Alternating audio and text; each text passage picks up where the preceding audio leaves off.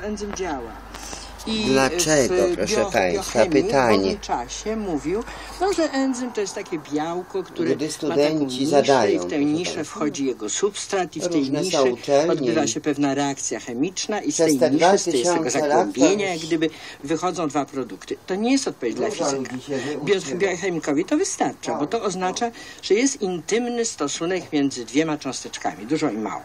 I powstanie nowej cząsteczki, a enzym jest dalej nie, nie, wychodzi z tego nie, niezmieniony. Natomiast dla fizyka to nie jest odpowiedź, bo fizyka, fizyk wtedy chciałby przynajmniej wiedzieć, co się tam dzieje z elektronami. Bo dzisiaj to może trzeba by jeszcze mówić o jakichś kwantowych zjawiskach, ale wtedy nie. Wtedy wystarczyło, że jakieś elektrony w tym, w tym e, substracie, czyli w tym nad czym działa enzym, w wyniku jakichś elektronów, które są na powierzchni enzymu, zostają tak prze, przes- przesunięte, że tam pęka na przykład jakieś wiązanie. E, Także fizyk wnika głębiej, czyli te, te, te pytania najciekawsze i oczywiście najgorsze, bo ja na nie nie umiałam odpowiedzieć wtedy, polegają na tym, że jest pytanie, dlaczego coś się dzieje. I y, z każdym postępem nauki przez wiele lat to y, odpowiedź na to pytanie robi się coraz, coraz trudniejsza i coraz bardziej wnikająca w, no rzeczywiście prawdopodobnie w co to, to, co się tam dzieje, tylko że tam się dzieje, ja jestem przyzwyczajona do czasów, no powiedzmy sekundowych, a to się dzieje w jakichś femtosekundach, jedna, 10 do minus 11 sekundy, czyli w ogóle już dla, bio, dla biologa z moim wykształceniem niepojęte. Znaczy ja mogę nad tym tylko przepłynąć i powiedzieć albo to sobie Państwo poczytajcie, albo mówię spokojnie, że ja się na tym nie znam, ale to można sobie gdzieś przeczytać. Więc te pytania, te pytania od fizyków były zupełnie inne i od tych humanistów, o których przed chwilą mówiłam, że jednemu panu się nudziło, ale pozostałym się nie nudziło i oni lubili moje wykłady i y, oni zadawali zupełnie inne pytania. Znaczy to już nie były pytania to nie były pytania, jak to się dzieje, to były pytania, co z tego wynika. Humanista ma inną wątpliwość. Tak, on idzie jakby w przód, a Tak, nie cofa tak, się, w, tak. jakby nie wchodzi w Bo głąb, jego też te elektrony za bardzo nie obchodzą. interesują. Tak. Jejku, Ale proszę. I to było naprawdę rozwijające. W związku z czym, jeżeli ja miałam takie doświadczenie z, y, ze studentami bardzo różnych specjalności, bo to trzeba podkreślić, od rolników do właśnie fizyków, to y, wtedy człowiek zawsze myśli, no a gdyby to powiedzieć mojemu szwagrowi inżynierowi. Przyjeżdżałam na wakacje, siedział szwagier inżynier, bardzo bystry, ale był ode mnie starszy o 5 lat, więc, więc w ogóle był już doświadczonym człowiekiem. I pytał się, a co to właściwie jest ten gen? I ja usiłowałam mu opowiedzieć, co to jest i na końcu on mówił, ty bardzo dobrze tłumaczysz. No więc to jest przyjemność po prostu. Wykonywanie dobrze swojej pracy jest największą przyjemnością, jaką człowiek w życiu może mieć.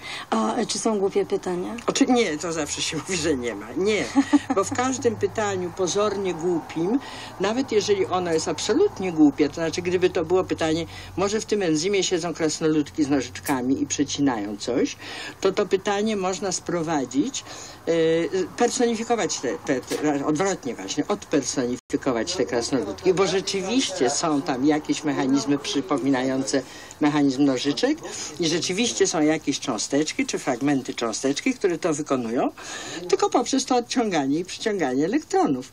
Ale każde pytanie, które brzmi w, y, pozornie, idiotycznie, można je sprowadzić, jeżeli ktoś nie robi z ciebie wariata. Bo ja ostatnio... Mm, ja zawsze nie wiem nigdy, czy ja mam poczucie humoru, chyba nie najlepsze, ale mam. No więc ostatnio y, pisałam takie wspomnienie z tych pierwszych lat katedry biofizyki, czyli jak mówiłam, założona w 74, y, w, zaraz, przepraszam, w 64 roku i trwa do dzisiaj. Pierwsza w Polsce katedra biofizyki, pierwsza na fizyce, nie na biologii. Potem wszystkie zakładali na biologii. No więc tam y, myśmy z koleżanką, byliśmy dwie biolożki i miałyśmy jako zadanie zrobienie laboratoryjnych ćwiczeń dla tych fizyków. Fizycy takich ćwiczeń nienawidzą.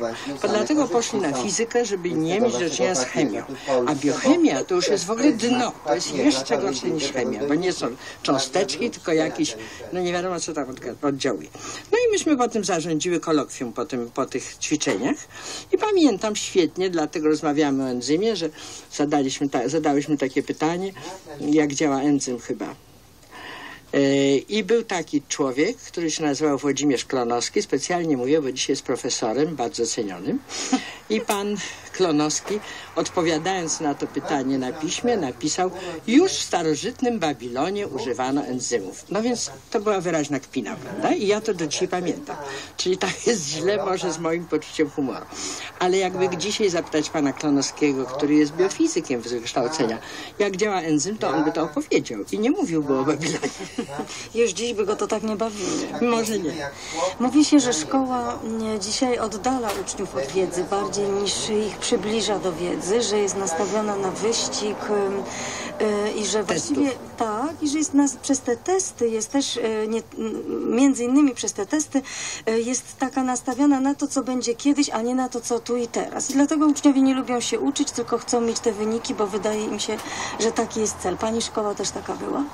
To było? Jak szłam tutaj, myślałam sobie, że pani ze mną będzie rozmawiała o szkole i powiem pani wtedy, że ja jestem bardzo stara i że chodziłam jeszcze na tajne komplety, co pani pewno nie wie, co to jest, ale to Wiem, była wiem. szkoła w czasie okupacji, żeby nie chodzić do szkoły, gdzie rządzili Niemcy. Ale chodziłam tylko albo rok, albo dwa, tego nie pamiętam, rok na pewno. A potem całe moje wykształcenie szkolne to jest w szkole socjalistycznej, ponieważ skończyłam szkołę średnią w 1953 roku. To jest rok, w którym umarł Stalin i to jest wtedy dopiero mógł się zacząć kruszyć trochę w Polsce ten ustrój. Czyli y, moja szkoła była z czasów najgorszych, ale, ale chodziłam do szkoły, w której uczyli przedwojenni nauczyciele. I to jest zasadnicza różnica. Nawet specjalnie sobie myślałam, że chcę powiedzieć, że polskiego uczyła mnie jednocześnie wychowawczyni, pani Bronisława Michałowska. To była babcia dzisiejszego ministra u prezydenta Komorowskiego. Był, był no, szefem kancelarii prezydenta. Jak ja mu powiedziałam, że jego babcia mnie uczyła, to on powiedział, pani pewno zaraz się na mnie rzuci z, z, z pazurami, bo moja babcia była srogą osobą. Otóż pani Michałowska nie była srogą osobą, ale była nauczycielką, pol, polonistką, więc mieliśmy dużo tych godzin polskiego i ona była przedwojenna i ona nas uczyła polskiego tak, jak trzeba uczyć, żeby rozumieć, co w tej literaturze jest. Od Frycza Modrzewskiego i, i Kochanowskiego i Reja, no i teraz do. Wtedy, kiedy myśmy się uczyli, ja świetnie pamiętam na przykład jeden tytuł. No była w lekturze szkolnej taka, taka książka Wilczka, nie pamiętam imienia, e, numer 16 produkuje. I to była książka o jakiejś fabryce, którą robotnicy wspaniale tam kierowali, znaczy pracowali w niej. Otóż pani Michałowska nie dopuściła do naszej świadomości, że istnieje taka literatura socjalistyczna, aczkolwiek, znaczy dopuściła, tylko myśmy dokładnie wiedzieli, że to trzeba przeczytać, ale można zapomnieć. E, Nawet na maturze ja pamiętam, że ja pisałam jakiś taki temat o poezji polskiej. To nie ona wymyśliła, to były centralnie wymyślone tematy. Ale właśnie z tym, co mnie pani Michałowska nauczyła, to ja mogłam pisać właśnie od tego reja, jaka była tam poe- poezja, jakimś tematem poezji polskiej. Myśmy wtedy takie eseje wielkie pisali na maturze z polskiego. Jednym słowem, ona nas bardzo chroniła. Ona nam jeszcze Słonimskiego dała i Dąbrowską dała i Naukowską dała, a ten numer 16 produkuje Wilczka, co do dzisiaj pamiętam, przepraszam pana Wilczka, już na pewno go na tym świecie nie ma, no to, no to e, e, ja nie wiem, czy tam było i wiem, że tego nie warto było czytać. No chyba była taka książka rosyjska o Mirisiewie. To był taki pilot, który stracił obie nogi, a potem jeszcze latał. I jakaś taka słynna książka. No to też, no to pamiętam, no to dzielny człowiek był. Y, Ale, y, czyli jak mówię, byli przedwojenni nauczyciele Właśnie, fizyki, matematyki. Taka, bo pani powiedziała, że to była duża różnica. E, jaka? Tylko w tym... Ja myślę, ym, że nie było polityki wtedy w szkole. Aha. To znaczy była polityka w szkole, sama jestem częściowo winna, ponieważ należałam do organizacji młodzieżowej, która się nazywała Związek Młodzieży Polskiej i na tych zebraniach Związku Młodzieży Polskiej no jakaś polityka była, której nie umiem teraz powiedzieć na ile wredna. Yy, Były szkoły, mój mąż późniejszy był na przykład przewodniczącym takiej organizacji w swojej szkole, to oni na przykład pisali opinie yy, ludziom na studiach. Znowu znam taką historię, gdzie po prostu człowiek, który szedł na studia, powiedział, że chce być lekarzem, miał zły, zły życiorys, to ZMP, ci, te szczeniaki w tym samym wieku zaprosiły go na zebranie, zapytały się, dlaczego chce iść na, na medycynę, a on powiedział, że go interesuje mózg i jak wyszedł z tego pokoju, to mój mąż powiedział, no, późniejszy mój mąż powiedział, słuchajcie, to jest straszne, to on, jego strasznie ciekawe rzeczy to nie, nie będziemy pisać złej opinii. Czyli to było różnie. Ale w politykę wtrącali się w gruncie rzeczy ci młodzi, którzy chcieli w tym kierunku iść. I ja wiem, że pani Michałowska, y, znowu wracam do pani Michałowskiej, bo to taki mój wzorzec z tej szkoły nauczycielki. Ona tego nie lubiła. Znaczy, ona była wychowawczynią, a jednocześnie ona by nie dopuściła, żebyśmy my z tego ZMP y, coś jej chcieli podyktować. A wzorzec Więc taki domowy. Wzorzec domowy. Dom był polityczny Ja jestem. Nie, nie, to się tak wydaje. Dom był polityczny, ponieważ mój ojciec miał wysokie stanowisko rządowe, ale on tego do domu nie przynosił. E, nie był przed wojną, myślę, że był lewicujący, ale nie był w żadnej partii. Przez wojnę przeszedł nie idąc do partyzantki, do AK, ani do niczego takiego. Moja mama e, chowała jedno dziecko, które miała i chciała, żeby je dobrze wychować. E, I ojciec nie przynosił, potem jak już był tym urzędnikiem, to te, tego do domu nie przynosił. Więc mój dom był cokolwiek schizofreniczny. Znaczy być może, tak, ja w szkole byłam w ZMP, mój ojciec w pracy e, no, wykonywał pracę, którą zleciła partia, ale w dziedzinie przemysłu, a w domu był kochający dom. To, to okazuje się, że można coś takiego zrobić. Sama jak o tym myślę, to się dziwię. Co to Nie znaczy? było żadnego nacisku w żadną stronę polityczną. Może to było oczywiste. Nie, nie. Ja No, myślę, że to było tak, że ja myślę, że oni to wierzyli, że ja sobie wyrobię jakiś pogląd i że w, koń, w końcu sobie wyrobiłam. przecież to Troszkę później niż oni oczekiwali, ale wyrobiłam sobie. I troszkę chyba inaczej niż ojciec na przykład oczekiwał.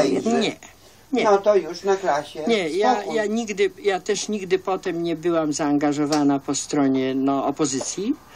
Nie, byłam jak gdyby wewnętrznie tak, przeciwna e, temu ustrojowi, który było, trwał, państwa, bo ale ja to- nie robiłam nic w tym kierunku, żeby on przestał trwać. Czyli była czytam i właśnie ja w gruncie tak. rzeczy ustawiona, nie, idziesz, nie idę na humanistyczne nauki, mówił, na ja studia, jestem bo to jest polityczne. Nie idę na fizykę i matematykę, bo sobie nie dam rady, no to No idę na biologię. Taka była, moja, taka była moja motywacja. A mój ojciec był człowiekiem myślącym, To, co co prawda był wykształcony w AGH i przedwojennym i, i jako technik, tak, inżynier, techni, te, techniczny inżynier, ale strasznie dużo czytał, pasjonował się historią, y, humanistyką, dużo czytał książek pięknych, y, w związku z czym y, tu była też jakieś porozumienie. No i ten dom to, znaczy, jeżeli się myśli, on był bardzo zadowolony, że ja zdecydowałam, że idę na uniwersytet i że idę na tą biologię, a potem jak robiłam no, kolejne jakieś stopnie rozwojowe w tej biologii, po pracy, po, jak poszłam do pracy, to był bardzo szczęśliwy, to wiem. I nie chciał niczego, żadnych deklaracji ideowych ode mnie, bo on nie był ideowy. A co to znaczy, że matka chciała dobrze wycho- wychować to jedyne dziecko, czyli panią, którą miała? Co dla niej Znaczy, oznaczało dobrze wychować? Dobrze wychowanie, znaczy po pierwsze oznaczało, jak ktośmy mówiły, jak żeśmy tu do, na nagranie, że nie ciamkam przy jedzeniu. Więc oczywiście, ale nie do końca, na przykład wciąż jeszcze jem i dość szeroko rozkładam łokcie. Więc wszystkiego, co Trzymaj trzeba, mnie nie nauczyła. Tak. Było. Tak, e, następnie no, uczyli mnie oni oboje takiej, takiej istotnej e, uczciwości codziennej. To znaczy się nie kłamie, ja mogę powiedzieć, że ja nie kłamię.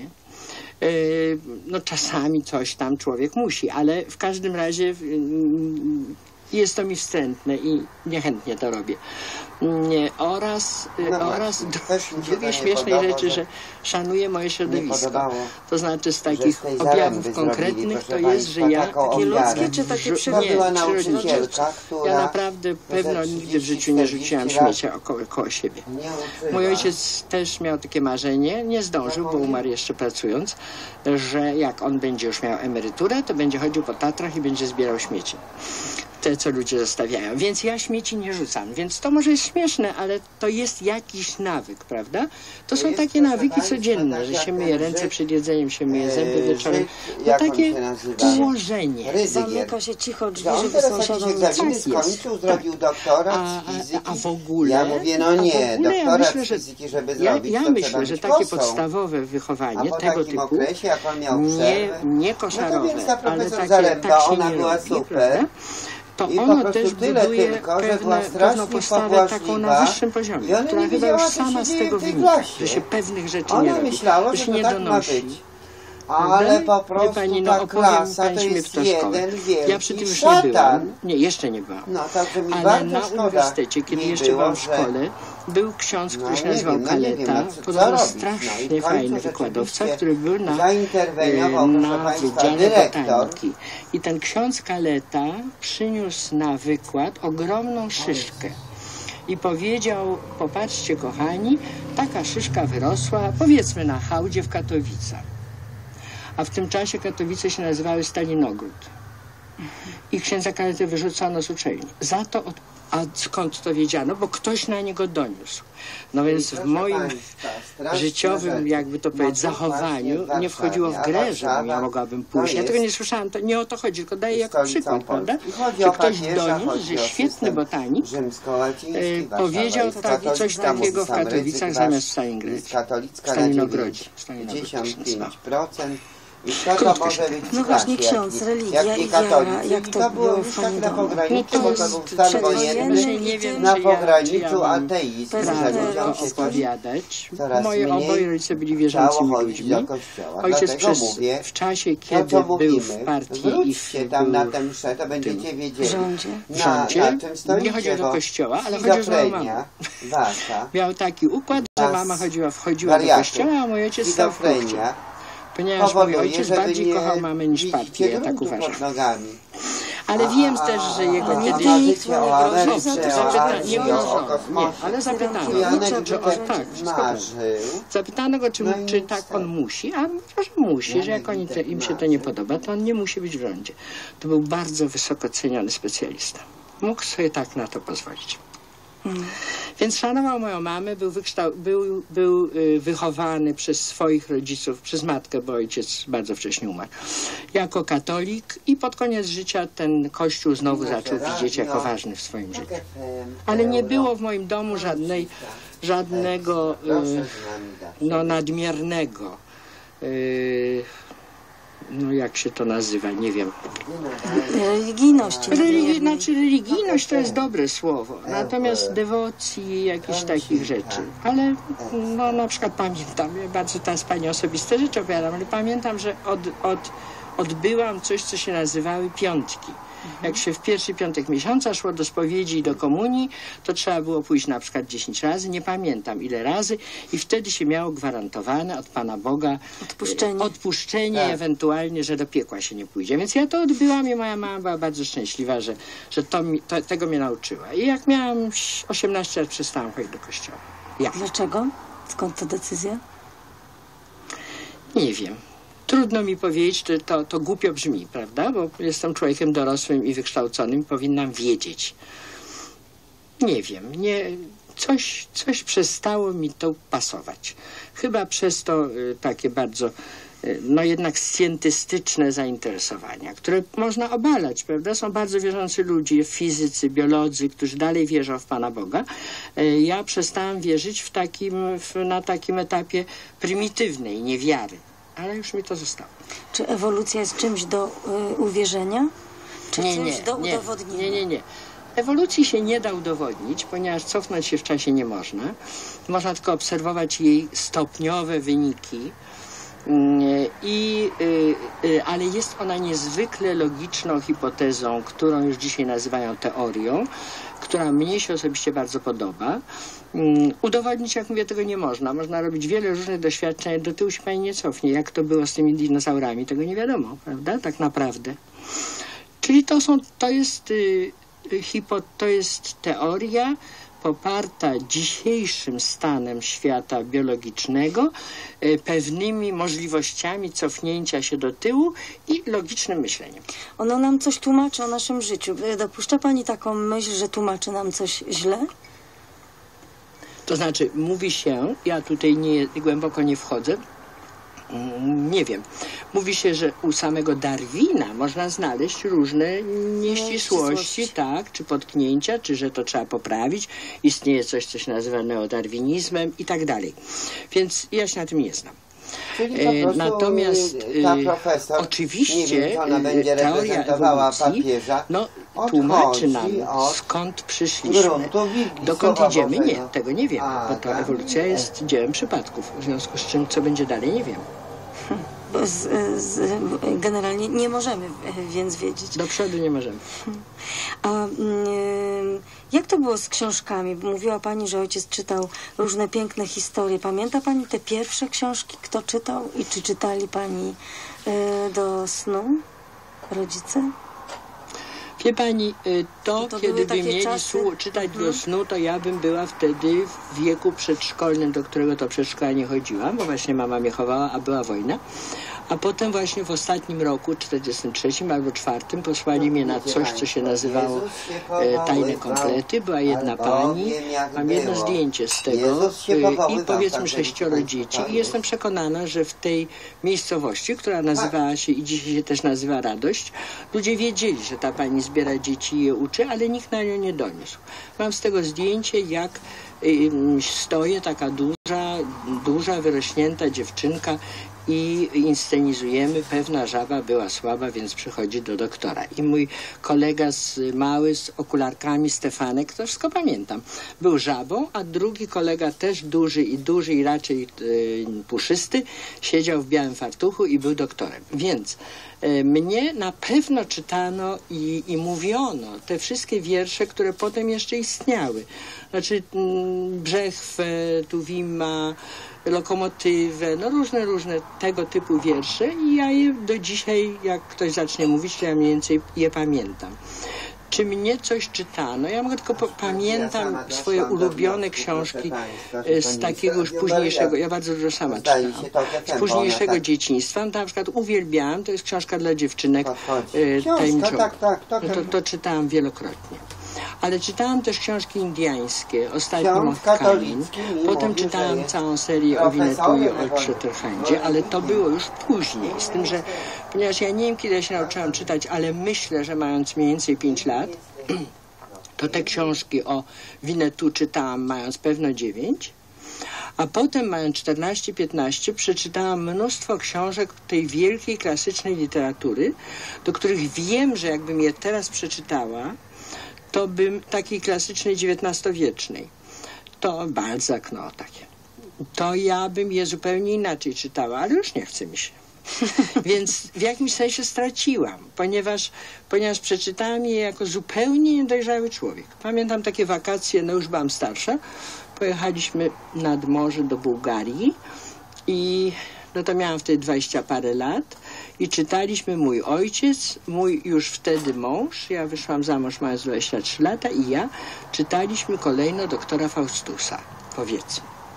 I y, rodzinę y, y, Budenbroków też na pewno przedtem czytałam. Y, takie trudne książki, mając 18 lat, 19 lat. Y, Czardziejską górę myślę, że dzisiaj też znowu nie wiem, czy bym mnie nudziła, czy bym uważała, że to jest genialne, ale po prostu nie mam ochoty w to wchodzić. Na przykład wiem, że próbowałam Żeromskiego czytać jako człowiek teraz i nie, nie mogę. A są ludzie, którzy mogą. Y, przeczytałam to, co mi w szkole pani Michałowska kazała nad, o, nad y, tym Niemnem. Przeczytałam. Uwielbiałam. Moja ulubiona lektura szkolna to jest lalka.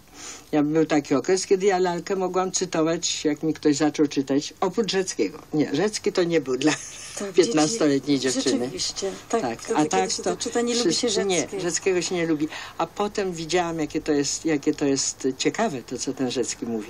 Tak. Tylko, że, tylko, że inaczej. Więc, Zupełnie jak życie. z tymi lektorami trudno mi jest powiedzieć. Na pewno mi czytano te, te klasyczne wiersze dla dzieci, a potem, a potem to już zaczęła być właściwie jednak literatura. Co sześcioletnia dziewczynka wiedziała o tajnych kompletach? Że nie wolno o tym mówić, czy Więc- po prostu panią tam zaprowadzili? Ja myślę, że po prostu. Jakoś to musiało w tej radości być sympatycznie, albo to było już 40, pewno czwarty rok, kiedy się Niemcy może już tak strasznie nie czepiali, nie wiem. E, Ja wiedziałam, chyba musiałam wiedzieć, że ja chodzę nie do normalnej szkoły, bo wiedziałam, że tam jest inna szkoła. Może mi rodzice mówili, że to jest przedszkole, nie wiem, ale to już była szkoła na pewno. Więc, więc nie mam żadnej świadomości. Natomiast ostatnio słyszałam w TOK FM rozmowę na temat y, z panią Grzebałkowską, na temat jej ostatniej książki, rok 45, Wojna i Pokój. I ona mówiła, że tak strasznie warto jest, żeby zapisywać to, y, co pamiętają z tamtych czasów ludzie, którzy wtedy żyli, a potem powiedziała, no ale ja sobie zdałam sprawę, że to są wspomnienia dzieci. Tak. I ja sobie też z tego zdałam sprawę, bo Więc ja... one mogą być Bo ja pamiętam, trochę, tak, bo ja pamiętam y, perspektywa. y, okupację, ale na pewno o pewnych rzeczach, mój dom był taki, że o pewnych rzeczach przy dziecku się nie mówi, więc na pewno y, nie dyskutowano takich rzeczy też okupacyjnych, chociaż mój ojciec z tego, co ja wiem, nie należał do żadnej organizacji podziemnej, na pewno nie był w AK, y, ani w AL-u, ani w niczym takim. Y, W każdym razie y, ja coś pamiętam z wojny bo to były takie przeżycia, takie, co zostają na całe życie. E, Jak miałam trzy lata, to ojciec uciekał ze Śląska, gdzie był na liście niemieckiej, e, no do aresztowań, tam były takie gotowe listy i uciekł do swojej matki w Chełmie Lubelskim. I ja odnalazłam w Chełmie szkołę, do której mój ojciec chodził, bo jego matka była tam nauczycielką. I ja ją odnalazłam mniej więcej 15 lat temu. Jeździłam tam na dwa czy trzy festiwale nauki szkolnej. To jest liceum imienia Czarneckiego. Y, I tam oni przynieśli mi księgę, właśnie było szukanie mojej rodziny. Przynieśli mi księgę y, pamiątkową i w roku 1923 mój ojciec był chorążym sz- sztandaru szkolnego. Więc to była szkoła, do której moja, jego matka uczyła, a on tam chodził i skończył ją y, z wielkim odznaczeniem. No i w 1939 roku przywiózł tam mamę i mnie i ja mówię tej nauczycielce, która mnie tam przyjmowała, wie pani, ja mam takie wspomnienie, że był nalot że był nalot y, niemiecki i babcia nam kazała się chować pod jabłonkami i ja to pamiętam. Ale mówię, no wie pani, to był 39 rok, to gdzie to Niemcy naloty robili na hełm, a ona mówi 8 września, tak jest, był wielki nalot na hełm. Czyli to dziecko trzyletnie, trzyletnie już takie rzeczy się pamięta. To już jest coś okropnego. Więc ja coś pamiętam z, z okupacji, no ale ponieważ mój ojciec nie był bohaterem, to ja pamiętam to właśnie, tak jak pani Grzebałkowska powiedziała, z perspektywy dziecka. Mrówki. A czy przyjaźnie e, takie w, e, młodzieńcze, czy rodzice kiedykolwiek pani je jakoś e, dobierali albo starali Nie, się nie, w to ingerować? Nie, nie. Nie, nigdy. Oczywiście zawsze można się przyglądać chłopakowi, który mi się podoba, ale pierwszy chłopak, który mi się naprawdę spodobał, moim rodzicom się też podobał i nie było wątpliwości, nie było e, Rozbieżności. rozbieżności. Ten chłopak e, potem się rozstaliśmy, a potem został moim mężem, więc w ogóle była to dobra, dobra znajomość. Był polonistą i mnóstwo czytał, tak samo jak ja. Także coś nas łączyło. Natomiast, e, czyli o chłopców nie było sprawy, bo ja... Natomiast z dziewczynkami to na odwrót. Moi rodzice a w szczególności matka, ponieważ ja byłam jedna, mojej matce lekarze zabronili mieć więcej dzieci, to, y, to ja myślę, że oni potrzebowali tego. I myślę, że mój ojciec chciałby mieć syna, chociaż nigdy tego głośno nie powiedział, ale jak ja urodziłam swojego synka, to mi opowiadano, że ojciec był na jakiejś wtedy na jakiejś konferencji naukowej o siódmej rano, biegł korytarzem i krzyczał mam wnuka, mam wnuka, więc się cieszył. Natomiast moi, moi, póki ja chodziłam do szkoły, oni niezwykle se- serdecznie e, te dziewczyn, dziewczyny czy, czy no, dziewczynki, z którymi ja się przyjaźniłam, oni włączali do rodziny. W związku z czym te osoby, jeżeli jeszcze żyją, a niektóre z nich żyją, do dzisiaj to pamiętają ogromnie ciepło że potem też no, jedna z moich koleżanek skończyła studia na medycynie, nie mając matki i ojca, dzięki temu, że moja mama jej finansowo pomagała. I było, było to takie ciepło promieniujące na te osoby, które, które były ze mną zaprzyjaźnione. Absolutnie bez żadnej ingerencji. No ta, ta koleżanka, co skończyła medycynę, to jej ojciec siedział w jakiejś aferze ekonomicznej. Wtedy była gospodarcza afera, nazywała się cukrowa i siedział. No i jak on siedział z powodu cukrowej, to ona była raczej źle widziana w szkole i, i jej mama też i to nie był żaden powód, no, że to była moja przyjaciółka. Moja mama, to też może powiem głośno, bo to jest wspaniała jej rzecz, że w mojej klasie była dziewczyna, która się nazywała Grażyna Barbasiewicz i której ojciec z kolei był w tych procesach Tatara. Był skazany i rozstrzelany. Do dzisiaj nie wiadomo, gdzie, gdzie pochowany. I wtedy Grażynę Barbasiewicz chciano wyrzucić ze szkoły. I wtedy moja mama przyszła do szkoły, miała męża za plecami działacza. Znaczy nie działacza właśnie, tylko no, w rządzie. E, I na tyle interweniowała, tak, na tyle interweniowała, że Grażyna skończyła szkołę. Maturę i tak dalej. Wyrzucili tę rodzinę z mieszkania. Ona mieszkała w jakimś baraku. Później była matka i dwie dziewczynki. Ale szkołę skończyła. Więc moi rodzice y, nie dobierali mi znajomych ani przyjaciółek i byli zawsze serdeczni i roz, rozszerzali naszą rodzinę. Na wyjazdy, na wakacje. Moja mama brała mi zawsze przynajmniej dwie koleżanki Właśnie, na wakacje. To moje pytanie się zrodziło wtedy, kiedy pani powiedziała o tych czasach w Bułgarii. Po prostu bardzo niewielu było wtedy na to stać. No więc to na Bułgarii tośmy już pojechali, to byłam starsza, ale wcześniej jeździliśmy nad morze i wtedy mama brała dwie koleżanki i oczywiście już się nie, dwie albo trzy i ja miałam cudowne wakacje. Znaczy, że, to, że ja nie czułam jako, do, jako dorastająca dziewczyna, że ja jestem yy, pojedyncza. Sama. Aha. Jak to jest z tym, y, było z tym y, wyborem studiów i z tą taką otwartością wobec ludzi, to już właściwie pani y, trochę opowiedziała. A skąd upór w dążeniu do celu? A to jest tylko charakter. To, to, to jest tylko charakter. I ja. To trudno mówić, bo na pewno wielu ludziom to się wydaje nieciekawe, albo się wydaje, że to jest bardzo egoistyczne. Bo ja bym właśnie, jak gdyby o, to uważała, że to jest moją cechą, że ja dążę do celu i muszę i kończę jakieś etapy. Wiem, że takie miałam zmartwienie w życiu moich dzieci, znaczy nie dzieci, syna który wyjechał po czwartym roku do Stanów Zjednoczonych i nie było go przez rok. Ja się tak strasznie bałam, że on nie skończy studiów, ponieważ y, widział, że sobie daje radę. No i jeszcze musiał pracę magisterską zrobić, zdać jakieś egzaminy, ale to wszystko zrobił. Więc to pamiętam, że to było, to było moje główne zmartwienie, znaczy nie główne, to znaczy to mnie strasznie niepokoiło, że on nie zamknie jakiegoś Czyli dla mnie jest to bardzo ważne. Ale to ja myślę, że to jest cecha charakteru, że to nie jest, nie można powiedzieć skąd. Taka jestem. No jestem, wie pani, no jakby tam nie było, jak się patrzeć z boku na to, to jestem, e, jak, jak, jak, się, jak bardzo się moi rodzice nie starali, to jestem jedynaczką i w związku z tym, no oni dwoje, myśmy nigdy, ja nigdy nie znałam biedy. Ja nie znam sytuacji bogactwa, bo tego nigdy w żadnym z domu, ani moim już potem osobistym, ani z rodzicami, bogactwa nie było. Ale tak było, że zawsze było co jeść, zawsze było się w co ubrać i można było pojechać na wakacje nad morze. Więc y, no można to wtedy było nazywać zamożnością. W związku z tym y, tego zmartwie, to zmartwienie było mi obce. No i ponieważ byłam tą jedną jedyną i się dobrze uczyłam i dobrze kończyłam studia i miałam świetne stopnie na tych studiach i dostałam się od razu do pracy, do pracy naukowej, tak jak mój ojciec sobie by marzył. Potem zrobiłam doktorat. Doktorat, doktorat on jeszcze dożył. Mojej habilitacji już nie dożył.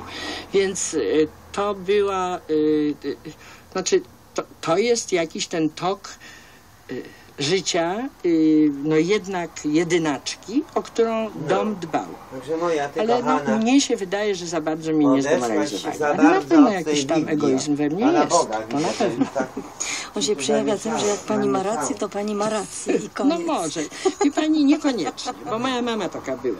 A ja z kolei Tak, z tak. ojcem byłam niezwykle blisko psychicznie, a mama mnie bardzo, może byłam podobna i w związku z tym mnie bardzo drażniła i ja zawsze starałam się zrobić nie tak, jakby moja mama zrobiła. W związku z tym to, co w sobie wyrobiłam, to jest to, że ja się nie sprzeczam. Jeżeli ja uważam, że ja coś tam, to ja najwyżej milczę. Znaczy nie, nie, nie wchodzę w konflikt taki, że ja mam rację. Także tu pani, tu pani nie ma racji. Ja jestem czło- człowiekiem, z którym jeżeli się najwyżej przestaje rozmawiać na ten temat, mówię, no to to. Mówi pani, że nie wolno było kłamać, Straszną nie wolno było pani ze mną donosić. A były takie sytuacje, w której pani złamała ten zakaz, jak to dziecko. No czasami, nie wiem, nie zjadła pani drugiego śniadania No tak, pani... jak dziecko, tak, to też mogę powiedzieć, bo to jest śmieszne. W czasie okupacji mój ojciec miał oficjalną pracę w jakimś zakładzie, nie wiem, telekomunikacji na Pradze. Mieszkaliśmy w tej radości, jak już mówiłam, on co dzień jeździł w tej weftę i wiem, że zarabiał tyle, znaczy miał coś, co się wtedy nazywało Aus- Ausweis chyba. I to był taki dokument, że się pracuje i to było ważne, żeby go nie wzięli w jakiejś łapance. Ale z tego się żyć nie dało. Ja nie umiem powiedzieć, jakie to były sumy, ale wiem, że z tego się żyć nie dało. Otóż żyliśmy dlatego, że moja mama była świetną, a, świetnie robiła słodkie rzeczy. To mi zresztą zostało. Krówki tak? słynne robiła, tak. Krówki robiła, ciastka robiła. E, No i z krówkami właśnie taka historia, jak się robi krówki, to się dość długo, wtedy tak było, trzeba było ucierać mleko z cukrem cały czas gotując, więc to taka robota, że trzeba przy tym stać i kręcić w garnku.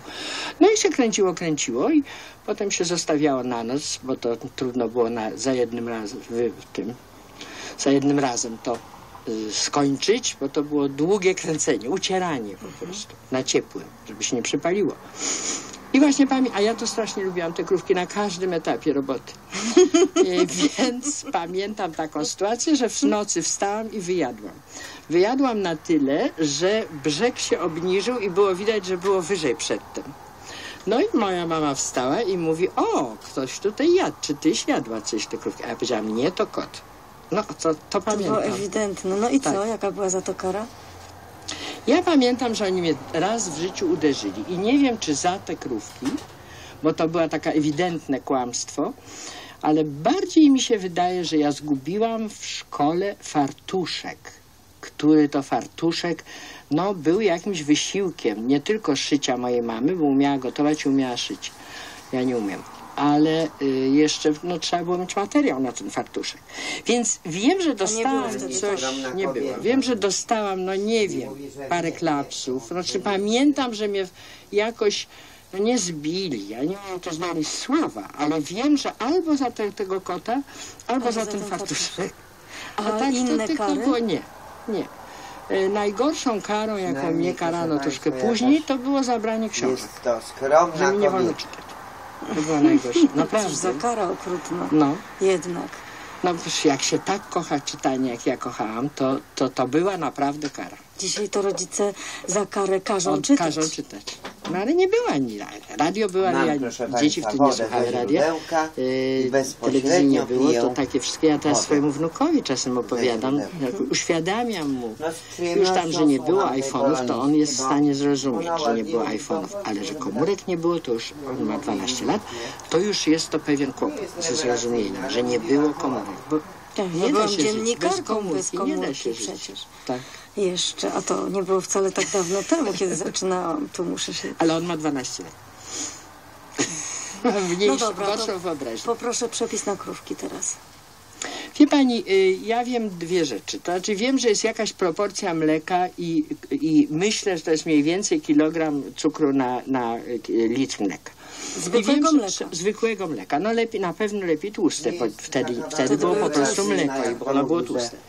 I wiem, że to się gotuje i uciera i uciera i to pewno w dzisiejszych książkach y, kucharskich jest przepis na kajmak. Pogłodowała, Wtedy, kiedy się robi mazurki na Wielkanoc, ale to się dłużej uciera. I wiem, że również, że moja mama jak robiła te krówki, to one były trochę kruche i nie takie, jakby się chciało, aż się dowiedziała, że trzeba dodać, ale już nie powiem pani jaki, jaką ilość, czegoś, co się nazywało syrop kartoflany albo ziemniaczany.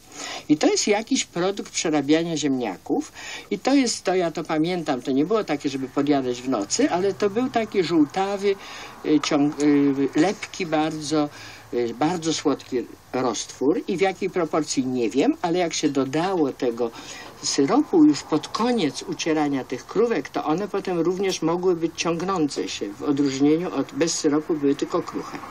I to się przydało po wojnie mężowi kuzynki mojej mamy, który należał do tej grupy ludzi, którzy byli urodzeni do tego, żeby być przedsiębiorcami.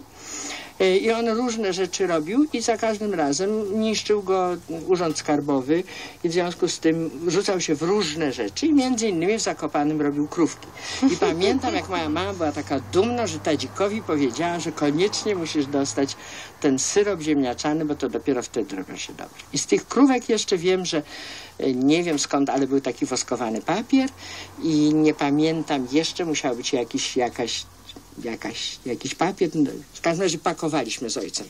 Znaczy jak one, bo to się później wylewało na dużą blachę i to się dość szybko trzeba pokrajać na takie kawałki, jakie potem są krówkami i potem to trzeba na następny dzień, jak to troszkę ostygnie i tak dalej, mm, zapakować. Więc to wiem, że mnie też dopuszczano do pakowania tych krów.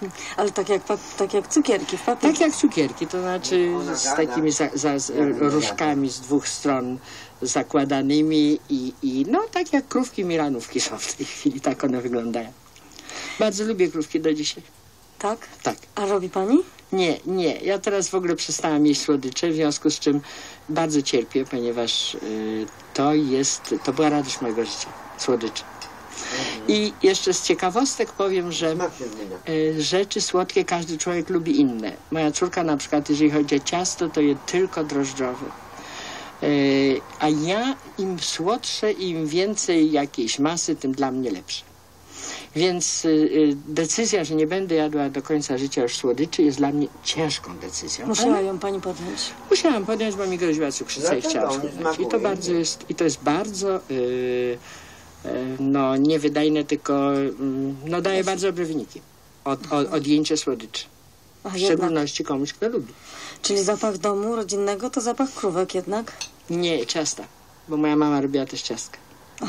Niedawno sobie myślałam, że nie pamiętam jak to robiła. Takie torty to się robi y, jajko z cukrem i prawie bez mąki i rozsmarowuje się taki placek i on się bardzo szybko bardzo szybko się go piecze, jeżeli się zrobi dużo takich placków i między to włoży jakąś masę, to jest taki placku, placuszkowaty tort.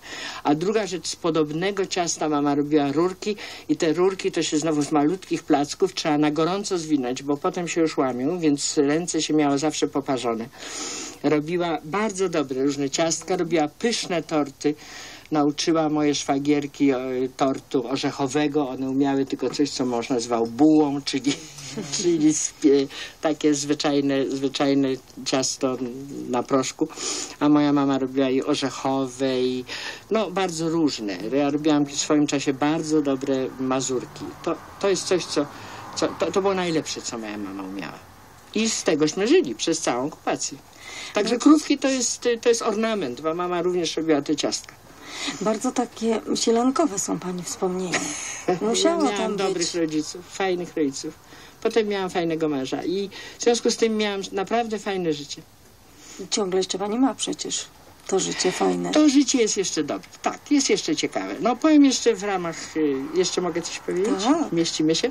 No to powiem jeszcze w ramach takiego jakby smutku, że mówiłam już tutaj o moim pierwszym no, mistrzu naukowym, profesorze Szugarze, który w tym roku kończy we wrześniu 100 lat i y, z y, uczniowie, którzy, których niedużo przeżyło. On żyje i pracuje, a nas już jest niedużo. Postanowili wydać taki specjalny numer pisma naukowego poświęconego, którym opowiada się o tym, co ważnego zrobił profesor Sugar w nauce. A zrobił bardzo dużo ważnego. Jeden z moich kolegów fizyk mówi, że dwa razy dostał pytanie, dwa niezależne razy o, od Komitetu Noblowskiego, czy on by nominował i za co by nominował profesora Sugara. Więc jest to tego typu, tego typu osoba w Polsce. No i ja miałam napisać o jednej dziedzinie, w której pracowałam i napisałam i redaktor tego tomu, który też pracował z profesorem Sugarem, nie przyjął mi tego tekstu. Powiedział, że jest za prosty i że nie jest naukowy. W związku z czym ja jeszcze przez tydzień próbowałam zrobić z tego coś naukowego, ale on mi znowu powiedział, że to się nie nadaje, to ja powiedziałam, że trudno. Jednym słowem, człowiek odchodzi od różnych rzeczy. To znaczy, ja nawet mam jeszcze, ale z innymi zadaniami. Y, Malutki kawałek etatu w moim instytucie, więc nie jestem, nie tylko jestem emerytką, ale ja już w nauce nie mogłabym pracować. Odchod- odeszłam od tego poprzez to, Tą popularyzację poprzez tę popularyzację, ponieważ jednak w popularyzacji ważne jest, żeby opo- opowiedzieć prosto o najważniejszych rzeczach. Jak się coś odbywa, fizyk, i co z tego wynika, humanista. Humanista. I to razem trzeba połączyć i opowiedzieć to z ludziom. I podobno robię to dobrze. Więc y, y, i lubię to. I niezwykle to lubię. Więc ja już z nauką skończyłam. To, co było fajne w, w, w moim życiu naukowym, to już tego nie ma. I wie pani, zadziwiające, tak, że- że wrócić do tego nie można. To znaczy, że ja nie jestem w stanie przypomnieć sobie na naukowym poziomie tego, co robiłam z profesorem Szugarem w roku 1968. No, Nie mogę tego opisać naukowo. No ale czy to jest potrzeba, żeby to opisać naukowo, kiedy to No, jest redaktor jakiś... tego tomu uważa, że tak. Jest mi nawet bardzo żal, że ja nie mogę tego y, jakoś, jakoś opowiedzieć ludziom, wie pani, o tym Szugarze i co, i co on naprawdę zrobił i jak zrobił. Bo ja bym to chętnie opowiedziała, tylko może nie to- mam gdzie. Pani ma rację, a nie redaktor tego wydania. Nie wiem. W tym, że tak by należało to opowiedzieć, żeby więcej ludzi mogło to Wie pani, zrozumieć. gdyby to była książka, publicystyczna książka, to, to, pani, to co pani mówi jest słuszne, prawda? E, Bo tam jeszcze zmieszczą się anegdoty takie, takie Mhm. różne anegdoty. Profesor Sugar pochodzi z Kanady, w związku z tym nie nauczy się nigdy mówić dobrze po polsku. Jest bardzo dużo wspaniałych opowieści, jak on kaleczy język polski w sposób absolutnie uroczy. Więc... Jeden mały y, przykładzik. No w tej chwili nie, nie, Wszystko jak sobie przypo, tak, jak sobie przypomnę, to zaraz powiem. Y, I jest bardzo dużo różnych anegdot o nim, jak on z ludźmi rozmawiał, jak ich przyjmował. Y, Jest, y, jest bardzo szczególnym człowiekiem, który, dla którego nauka jest wszystkim w życiu, wszystkim. Oprócz tego, że miał córkę, która tragicznie zmarła i do prawie do końca był z żoną, którą się kochali. W związku z tym byli to dwie osoby, w których ona wiedziała, że jego praca jest najważniejsza, że to ona swoją też miała naukową i że to jest strasznie, znaczy, że to jest człowiek, któremu nie należy przeszkadzać. A ze mną on miał jeszcze taki s- kontakt, że mój mąż był dziennikarzem, politycznym dziennikarzem i on mnie wołał i zawsze mówił taki, e, Szugan nie umiał mówić per pani. Tylko pani Magda, proszę wejść. To jest coś takiego. No więc Szugar mnie wołał pani Magda i mówił, co słychać w polityce. I ja mu musiałam mówić też o tym, co, co mój mąż mi opowiada. Znowu pani referowała i przekładała z polskiego na nasze. Tak, tak. Więc ja bym bardzo chciała, bo my byśmy sobie poprzypominali te różne anegdoty, bo każdy z nas jakąś anegdotę ma z, z, związaną z Sugarem. I bardzo bym chciała, żeby to można gdzieś utrwalić, bo to jest wyjątkowa postać. On ma y, tak zwany indeks cytowań Hirsza powyżej 50. To jest właśnie noblowski. No, licz, Poziom. liczba noblowska, tak. On wykształcił na pewno kilkuset doktorów kilkuset magistrów. Y, To, to jest niesłychany człowiek z tym, co zrobił. I jak mówię, dwa razy Komitet Noblowski zastanawiał się, czy nie warto by mu przyznać Nobla. No niesłychany człowiek. To ja pani Ma po krzyż audycji komandorski podpowiem, jak to od zrobić. prezydenta Wałęsy, który E, dostał. Bo przecież pani na pewno wie, że istnieje coś takiego jak self-publishing i dzisiaj naprawdę takie wspomnieniowe, e, małe wydawnictwo sama pani może zrobić ze swoimi kolegami. Niech ta e, naukowa Dobrze. publikacja idzie swoją drogą, a anegdoty przecież muszą być, bo to cóż pozostaje? To jest po wyjątkowy człowiek. Nie ma, nie ma takiego drugiego człowieka w Polsce. Na tym poziomie cytowania i tego, jak go znał świat i jednocześnie oryginalności istnienia, jaki on był. A to na pewno. Jest. Tak, To jest, to jest temat do audycji, którą zrobimy. Ja bym chciała zrobić tę Trzeba audycję w tym radiu, bo ja to, tego, tego radia w kółko słucham, Żeby jak Państwu wiadomo. I chciałabym tu też, nie bo, to jeszcze umiem opowiedzieć o, o człowieku i o, tym, o, i o o- takie właśnie historyjki. A już To jesteśmy o umówione. polinukleotydach jest trudniej. To już jesteśmy umówione. Dobrze. Dziękuję Nawet. bardzo. Dziękuję bardzo. Moją gościnią, ja tak mówię, godzi się pani na to. Może Pani mówić mi jak? Była dzisiaj e, profesor Magdalena Fikus. Dziękuję. Dziękuję. Historia muzyki według radia Złote Przeboje. Rok 1969. W kinach wyświetlają właśnie komedię Człowiek z M3 z niezapomnianym Bogusławem Kobielą, a Jerzy Hoffman funduje nam pierwszą część trylogii Henryka Sienkiewicza Pan Wołodyjowski z Tadeuszem Łomnickim w głównej roli. Za to dzieci w Związku Radzieckim na dobranoc mogą już oglądać Wilka i Zająca. W kultową dziś bajkę, która niedługo później pojawi się także i w polskich telewizorach. W 1969 roku na świat przychodzi wokalistka tej grupy, czyli Gwen Stefani, a także Jay-Z. David Bowie wydaje swój drugi studyjny album, natomiast John Lennon i Yoko Ono przez sześć dni nie wychodzą z łóżka hotelowego pokoju w Amsterdamie i ma to być ich manifestacja na rzecz pokoju. Lennon może sobie już tak leżeć spokojnie, bo przecież od ponad miesiąca w sklepach jest najnowsza płyta Beatlesów Yellow Submarine. Sierpniu 1969 roku ma miejsce chyba największa i najbardziej znana muzyczna impreza na świecie, słynny Woodstock Festival. Jego głównym przesłaniem jest pokój, miłość i szczęście. I jak mówią legendy, zwłaszcza te dwa ostatnie przesłania, uczestnicy Woodstocku wzięli sobie najbardziej do serca. Na scenie wystąpiło ponad 30 muzyków i zespołów, wśród nich m.in. Joe Cocker,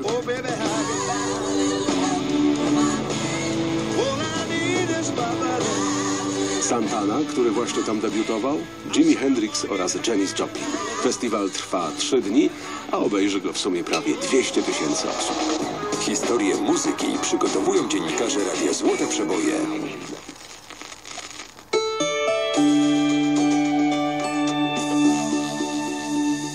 Radio TOK FM. Pierwsze radio informacyjne. Środa 5 sierpnia minęła północ.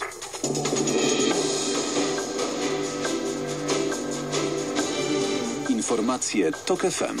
Filip Kekusz. Bronisław Komorowski kończy prezydenturę. W ostatnim orędziu podziękował Polakom za ostatnich pięć lat. Katastrofa policyjnego helikoptera w Kolumbii zginęło 15 osób, dwie są w stanie krytycznym. Chorwacja świętuje 20. rocznicę operacji Burza, która faktycznie zakończyła ostatni konflikt z serbskimi separatystami. Przedostatnim dniu urzędowania prezydent Bronisław Komorowski pożegnał się z Polakami. W kilkuminutowym orędziu wymienił osiągnięcia ostatnich pięciu lat, w tym wzmocnienie bezpieczeństwa Polski, poprawę wizerunku kraju na świecie czy politykę prorodzinną. Komorowski dziękował też tym, z którymi współpracował. Sprawując urząd prezydenta, starałem się iść drogą zgody, dialogu i kompromisu. Wszystkim, którzy chcieli podążać tą samą drogą, raz jeszcze z całego serca dziękuję. Ustępujący prezydent zachęcił też do uczestnictwa we wrześniowym referendum i październikowych wyborach parlamentarnych. 15 policjantów zginęło w katastrofie śmigłowca Black Hawk, który rozbił się w dżungli Kolumbii. Dwóch pozostałych funkcjonariuszy jest w stanie krytycznym. Śmigłowiec brał udział w misji ścigającej Dairo Otoniela Usagę, przywódca najbardziej brutalnego w Kolumbii gangu przemytników narkotyków. Roztrzaskał się w rejonie uznawanym za bastion przestępców, prawdopodobnie z powodu mechanicznej usterki. Parada wojskowa upamiętniająca zwycięstwo Chorwacji w wojnie z serbskimi separatystami przeszła wieczorem ulicami Zagrzebia. 20 lat temu rozpoczęła się chorwacka operacja Burza, która faktycznie zakończyła czteroletni konflikt.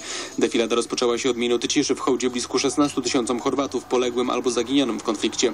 Rocznicowe uroczystości w Chorwacji obchodzone jako święto niepodległości i wojennego zwycięstwa w Serbii są, są jako wspomnienie o poległych rodakach. Od lat są źródłem napięć w relacjach obu krajów. Słuchasz informacji TOK FM. Przepychanki personalne towarzyszące tworzeniu list Platformy Obywatelskiej osłabiają wyborcze szanse partii. Premier Ewy Kopacz twierdzą zgodnie komentatorzy poranka Radia Tok FM. Renata Kim z Newsweeka ocenia, że stawianie przez regionalnych działaczy Platformy na polityków, którzy mogli mieć kłopoty z prawem, jak Cezary Grabarczyk i Andrzej Biernat, to nie jedyny grzech. Jeśli ja słyszę jako y, rodowita krakowianka, że szykuje mi się desant y, w postaci pani Małgorzaty Kidawy-Błońskiej, wiem, że jej wizyty w Krakowie są zapewne tylko wizytami turystycznymi, to ja nie rozumiem takiego ruchu. Liczenie tylko na to, że znana twarz pani Małgorzaty Kidawy-Błońskiej wystarczy do tego, żeby zdobyć serca krakowian, wydaje mi się błędem. Zdaniem socjologa doktora Roberta Sobiecha awantury wokół list wyborczych przesłaniają tematy, które powinny być w czasie kampanii najważniejsze. Koncentracja na tych wewnętrznych ruchach, koncentracja na tym, kto za kogo, w jakim składzie, kto będzie rezerwowym, a kto będzie rozgrywającym, sprawia, że w pola widzenia usuwane są te główne tematy. No po coś ci politycy ubiegają się o tę władzę, coś chcą zrobić. Ostateczne decyzje dotyczące list wyborczych podejmie po obradach Zarządu Krajowego Platformy Rada Krajowa Partii. Posiedzenie Rady ma się odbyć za kilkanaście dni. 25 obiektów z Małopolski po raz pierwszy otrzymało tytuł lidera bezpieczeństwa sanitarnego. W Urzędzie Wojewódzkim tytuły wręczyli restauratorom czy hotelarzom ich koledzy po fachu. To jedyne tego typu przedsięwzięcie w kraju. O szczegółach Bartosz Kądziołka. Do projektu zgłosiło się prawie 50 obiektów. Na podstawie wyników kontroli sanepidu kapituła wybrała najlepsze. Wyróżnieni dostali dyplomy i naklejki, które mają być informacją dla klientów. Walczymy o utrzymywanie bardzo wysokiego poziomu. Chcieliśmy mieć szansę zdobycia nagrody, która potwierdziłaby nasze cele. Startowaliśmy w kategorii noclegi, basen i gastronomia. Chcemy pokazać, że nasz standard sanitarny jest jak na najwyższym poziomie. Tytuł obowiązuje jednak tylko do kolejnej kontroli, mówi szef kapituły Marek Piwowarczyk. Na przykład za rok będzie standardowa planowana kontrola w obiekcie zakładu żywia zbiorowego, to w tym momencie przedłużenie tego tytułu następuje dopiero po tej kontroli. Tytuły mają być przyznawane co trzy miesiące przez najbliższe 5 lat. Z Krakowa Bartosz Kądziołka. TOK FM. Pogoda. Dziś kolejny dzień upałów, ale w wielu miejscach Polski również zagrzmi. Przelotny deszcz na Wybrzeżu i w Wielkopolsce, burze w Kujawsko-Pomorskim, centralnej części kraju, a burze z gradem w Świętokrzyskiem, Małopolskim i Podkarpackiem. Na Wybrzeżu 26 stopni, ale już w Poznaniu 29, we Wrocławiu 30, w Toruniu, Bydgoszczy, Katowicach i Kielcach 31, w Łodzi i Krakowie 32, a w Warszawie 33 stopnie. Radio TOK FM. Pierwsze radio informacyjne.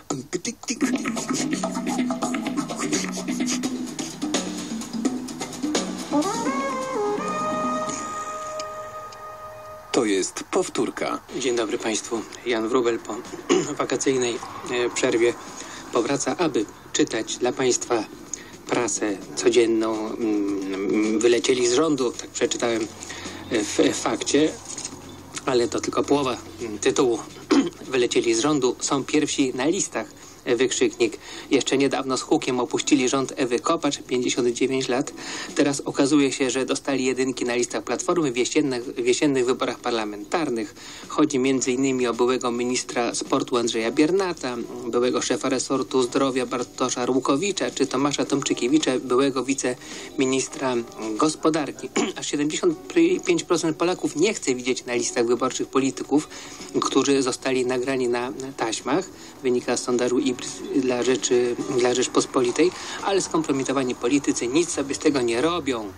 Tak pisze dzisiaj e, fakt na stronie siódmej, a z kolei na 21 pisze o innym wylocie, o ileż bardziej e, bolesnym i myślę, że raniącym duszę polskiego patrioty, mianowicie mm, Błaszczykowski na wylocie z Borusji, wykrzyknik.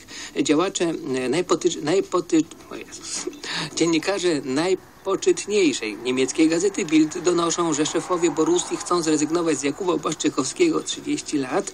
Mm, a dlaczego? No, mm, Polak nie może dojść do formy, którą imponował przed poważną kontuzją, zerwanie więzadeł. Mimo, że doznał jej już ponad półtora roku temu, wiosną tego roku grał co prawda w miarę regularnie, ale w 13 meczach Bundesligi zeszłego sezonu nie strzelił gola, ani nie miał asysty. Na dodatek po zakończeniu zeszłego sezonu znów doznał kontuzji i stracił przez to dużą część okresu przygotowawczego. W sobotę wrócił do gry po miesięcznej przerwie. Zagrał połowę sparingu e, z, Betlem, z Betisem Sevilla. Mm, Także no, tutaj rzeczywiście wy, wygląda na to, że, że wylot może akurat zaszkodzić w przeciwieństwie do, e, do wylatywania z rządu działaczy Platformy Obywatelskiej. No jeszcze zdanie o Platformie Obywatelskiej, bo jakby tu powiedzieć, wydaje mi się, że nie ma już o czym mówić. Pierwsza strona Rzeczpospolitej, mm, najważniejszy artykuł Andrzeja Stankiewicza. Tak brutalnej wojny w rządzącej Polską od 8 lat Platformie nie było nigdy. PO walczy sama ze sobą przynajmniej twierdzi e, Rzeczpospolita. Mgliście przypominają mi się słowa Donalda Tuska. Pewno Państwo pa- pamiętają premiera wieloletniego, który kiedyś powiedział chyba, że nie ma, e, Platforma nie ma w Polsce z kim przegrać. Oj tam, oj tam, zawsze ktoś się... Oj tam, oj tam. Żona zjazdu poślubiła Grzegorza, który należał do sekty judeo-pogańskiej. Zdołała go przywieźć do wiary, w której zanurzył się tak bardzo, że został potem biskupem na Zjanzie. Miała z nim troje dzieci Grzegorza, którego również nazywano Nazjanezeńskim, i- a także Gorgoni oraz Cezarego. Wszyscy oni ukrono, ukronowani zostali czcią należną świętych i stali się żywymi pomnikami matczynej troskości, troskliwości i bogomyślności. Grzegorz chyba najbardziej ukochańszy nie omieszkał ponadto powspominać serdecznie matkę w mowach pogrzebowych wygłaszanych po odejściu brata i siostry. To dzisiejsi święci, jeszcze tego dochodzi Wenancjusz, Fryderyk Janson, no i chcemy pamiętać też o dzisiejszych jubilatach, do nich należą Wenancjusz, Oswald, Parys, a także oczywiście e, Wirginiusz. Najlepsze życzenia Bożego Błogosławieństwa opieki Matki Bożej pragniemy złożyć wszelkich łask potrzebnych w życiu u początku tego dnia. Pamiętamy też o ofiarodawcach. Dziękujemy, bo to dzięki Wam radio istnieje, to dzięki Wam radio się rozwija, jest głosem wolnym i zależnym. To Państwo są właśnie gwarantem tego, że ten głos jest wolny i istnieje. Do ofiarodawców nale naszych należą z Warszawy falnicy z parafii Najświętszego Serca Pana Jezusa, państwo Ludwika i Stanisław Piórczyńscy, pani Teresa Jarząbek, pani Lucyna Olczak, pani Anna Deremajko, pani Czesława Śluzek, pani Barbara Król, pani Genowefa Jaworska, pani Krystyna Radomska, pani Zyta Wojno, pani Beata Turek, pani Danuta Szymańska, pan Tomasz Ławecki, pani Janina Bagińska, pani Irena Zaborowska, pani Marianna Piędziak, pani Barbara Pienkowska, pani Jadwiga Reszka, pani Irena Witulska, pan Bartłomiej Biniecki, pani Marianna Bryńska. Dziękujemy i dla wszystkich upominek muzycznych śpiewa Beata Bednarz.